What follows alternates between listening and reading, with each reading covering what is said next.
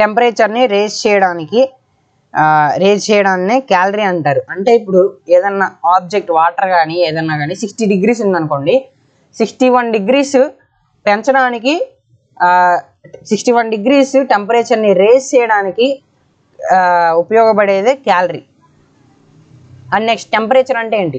Temperature is the degree of hotness or coldness అంటే temperature అంటే ఏంటంటే హాట్గా ఉందా కోల్డ్గా ఉందా అని చెప్పేది. సో ఇందాక చెప్పుకున్నాం కదా. So it is a measure of hotness or coldness అంటే హాట్గా ఉందా కోల్డ్గా ఉందా అని చెప్పేదే temperature so టెంపరేచర్కి SI unit kelvin so zero degree celsius is equals to two seventy three kelvins temperature in kelvin is equals to so temperature టెంపరేచర్ని kelvin స్కేల్లో kelvin స్కేల్లో కొలవాలనుకుంటే two seventy three plus temperature in degree celsius so for example sixty ten degrees ఉందనుకోండి water యొక్క temperature two seventy three plus ten two eighty three degree celsius. So ఇలా kelvin స్కేల్లో temperature అనేది కొలుస్తాం. And next activity three. Temperature and kinetic energy. So దీనికి కావాల్సింది ఏంటంటే ఒక రెండు రెండు రెండు గ్లాసెస్ తీసుకొని ఒక దాంట్లో హాట్ వాటర్ అండ్ ఇంకొక దాంట్లో కోల్డ్ వాటర్ని నింపాలి. సో ఇలా నింపిన తర్వాత ఇవి ఉంటాయి కదా ఫుడ్ కలర్స్ ఫుడ్ కలర్స్ తీసుకొని సో ఈ ఫుడ్ కలర్ని కేఎంఎన్ఓ ఫోర్ అని కూడా అంటారు. ఈ ఫుడ్ కలర్ని తీసుకొని రెండిట్లో ఒకేసారి వేయాలి. సో ఇలా వేసినప్పుడు ఏమవుతుందంటే హాట్ వాటర్లో ఈ కేఎంఎన్ఓ ఫోర్ అనేది తొందరగా స్ప్రెడ్ అవుతుంది. కోల్డ్ వాటర్లోనేమో స్లోగా స్ప్రెడ్ అవుతుంది. సో ఇలా ఎందుకు అంటే హాట్ వాటర్లో మనకు తెలుసు కదా యాటమ్స్ అండ్ మాలిక్యూల్స్ అనే లెసన్ విన్నప్పుడు ప్రతిదీ కూడా యాటమ్స్ మాలిక్యూల్స్ అనే దాంతోనే తయారైందని. సో ఈ వాటర్లో కూడా మాలిక్యూల్స్ ఉంటాయి కదా వాటర్ మాలిక్యూల్స్ హెచ్ సో ఈ మాలిక్యూల్స్ ఎలా ఉంటాయంటే హాట్ వాటర్లో ఉన్న హాట్ మాలిక్యూల్స్ కైనటిక్ ఎనర్జీని ఎక్కువ కలిగి ఉంటాయి. సో అవి ఏంటంటే ఎక్కువ కదులుతూ ఉంటాయి వైబ్రేట్ అవుతూ ఉంటాయి బాగా కదులుతూ ఉంటాయి.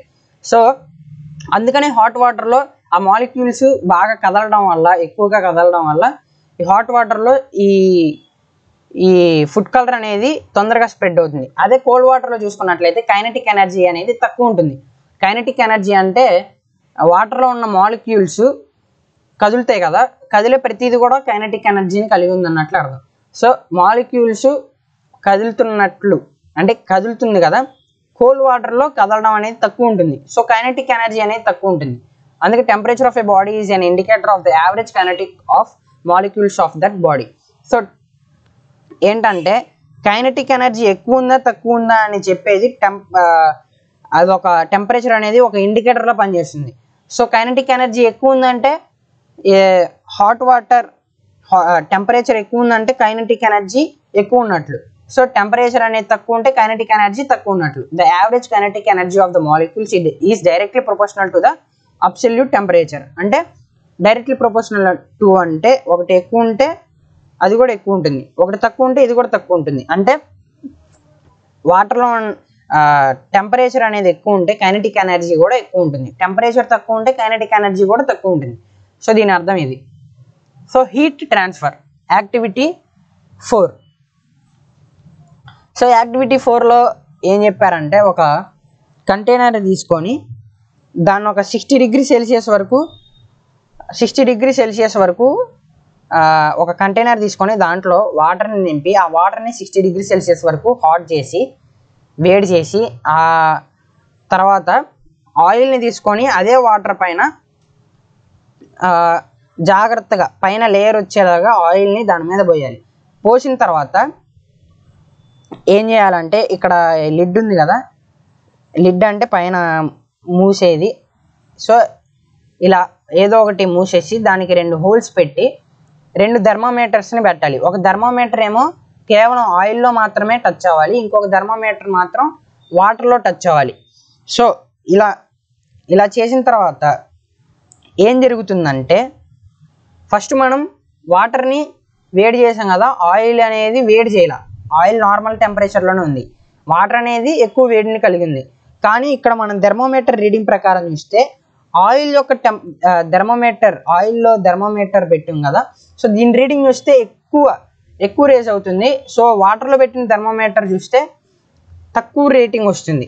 సో ఇలా ఎందుకంటే చెప్పుకున్నాం కదా స్టార్టింగ్ లెసన్ స్టార్టింగ్లోనే heat is a heat transfer అవుతుంది. హయ్యర్ టెంపరేచర్ నుంచి లోయర్ టెంపరేచర్కి హీట్ అనేది ట్రాన్స్ఫర్ అవుతుంది. అంటే వాటర్లో ఎక్కువ టెంపరేచర్ ఉంది. ఆయిల్లో తక్కువ టెంపరేచర్ ఉంది. ఈ ఎక్కువ ఉన్న టెంపరేచర్ అంటే వాటర్లో ఎక్కువ టెంపరేచర్ ఉంది కదా.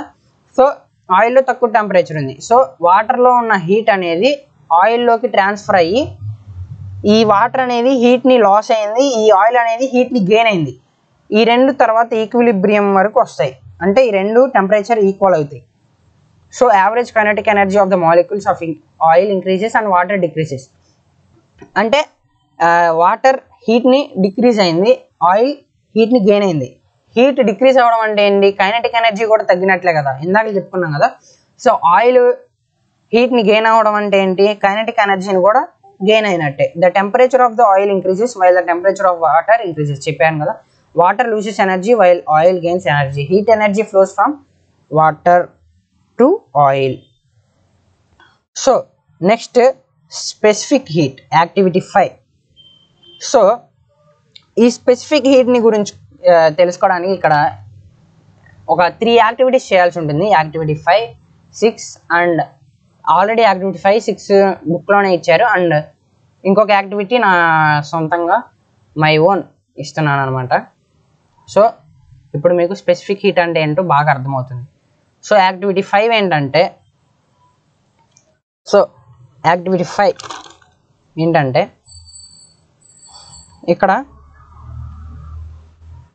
ఒక ఒక పెద్ద జార్ని తీసుకొని దాంట్లో హాట్ వాటర్ పోయాలి. ఎయిటీ డిగ్రీ సెల్సియస్ని కలిగి ఉన్న హాట్ వాటర్ని పోయాలి. సో ఆ తర్వాత ఒక చిన్న టెస్ట్ ట్యూబ్ని తీసుకొని దాంట్లో రూమ్ టెంపరేచర్ అంటే నార్మల్ టెంపరేచర్. సో ఆయిల్ని రూమ్ టెంపరేచర్ని కలిగి ఉన్న ఆయిల్ని ఈ ఒక టెస్ట్ ట్యూబ్లో తీసుకోవాలి అండ్ వాటర్ని కూడా ఇంకొక టెస్ట్ ట్యూబ్లో తీసుకోవాలి. ఈ ఆయిల్ వాటర్ రెండు ఒకే సేమ్ టెంపరేచర్ని కలిగి ఉండాలి. సో తర్వాత ఈ రెండింటిని ఈ జార్లో హాట్ వాటర్ ఉంది కదా ఈ జార్లో రెండింటిని హ్యాంగ్ చేయాలి ఆగేటట్లు ఇలా ఇమేజ్లో చూపిస్తున్నట్లు. సో కొంతసేపటి తర్వాత ఏమవుతుందంటే ఇక్కడ ఆయిల్ ఉంది కదా సో ఆయిల్లో టెంపరేచర్ అనేది రేజ్ అవుతుంది. వాటర్లో అంత తొందరగా టెంపరేచర్ అనేది రేజ్ అవ్వదు. ఇలా ఎందుకంటే వాటర్కి స్పెసిఫిక్ హీట్ అనేది తక్కువ ఉంటుంది. సారీ ఎక్కువ ఉంటుంది. సో స్పెసిఫిక్ హీట్ దేనికైతే ఎక్కువ ఉంటుందో ఆ ఆబ్జెక్ట్స్ టెంపరేచర్ని ఎక్కువగా అంటే ఎంత ఇచ్చినా సరే టెంపరేచర్ అనేది వాటికి ఇంక్రీజ్ అవ్వదు. అంటే ఫర్ ఎగ్జాంపుల్ ఇప్పుడు మనం తింటాం కదా ఎక్కువైతే మనం ఎంత తిన్నా పట్టదు. సో అలా అనమాట సో ఆయిల్కి స్పెసిఫిక్ హీట్ అనేది తక్కువ ఉంటుంది. అందుకే టెంపరేచర్ని తొందరగా ఇంక్రీజ్ అయింది. So the rate of rise in temperature of oil is higher than that of rise in temperature of the water why so చెప్పాను కదా. వాటర్కి స్పెసిఫిక్ హీట్ అనేది ఎక్కువ ఉంటుంది. And next activity six activity six ఏంటంటే ఒక two beakers తీసుకోవాలి. ఒక బీకర్లోనేమో two fifty grams of water ఇంకో బీకర్లో one K G of water అంటే డిఫరెంట్ మాసెస్ని కలిగి ఉన్న వాటర్ని తీసుకోవాలి. అండ్ రెండింటికి సేమ్ సేమ్ టెంపరేచర్తో హీట్ చేయాలి. సో ఇలా హీట్ చేసినప్పుడు ఏమవుతుందంటే టూ ఫిఫ్టీ డిగ్రీ గ్రామ్స్ కలిగి ఉన్న వాటర్ అనేది తక్కువ టైంలో ఎక్కువ హీట్ అవుతుంది. So one K G grams water కలిగి ఉన్న వన్ కేజీ కలిగి ఉన్నటువంటి వాటర్ ఏమవుతుందంటే హీట్ని తీసుకోవడానికి అంటే టెంపరేచర్ రేజ్ అవ్వడానికి ఎక్కువ టైం పడుతుంది. సో దీన్ని బట్టి ఏమర్థం అవుతుందంటే మాస్ తక్కువగా ఉంటే టెంపరేచర్ ఎక్కువగా అవుతుంది. అంటే హీట్ ఎక్కువగా అవుతుంది. సో మాస్ ఎక్కువగా ఉంటే టెంపరేచర్ కూడా తక్కువగా అబ్జర్వ్ చేసుకుంటుంది. అంటే టెంపరేచర్ తక్కువగా ఇంక్రీజ్ అవుతుంది. And next activity my own so ఈ యాక్టివిటీ ఏంటంటే ఒక టూ బీకర్స్ తీసుకొని అందులో సేమ్ అమౌంట్ ఆఫ్ వాటర్ పోసి ఒక బీకర్కి ఏమో తక్కువ అమౌంట్ ఆఫ్ హీట్ని ఇవ్వాలి. ఇంకొక బీకర్కి చాలా ఎక్కువ అమౌంట్ ఆఫ్ హీట్ని ఇవ్వాలి. సో ఇలా చేస్తే ఏమవుతుందంటే తక్కువ అమౌంట్ ఆఫ్ హీట్ ఇచ్చిన బీకర్కి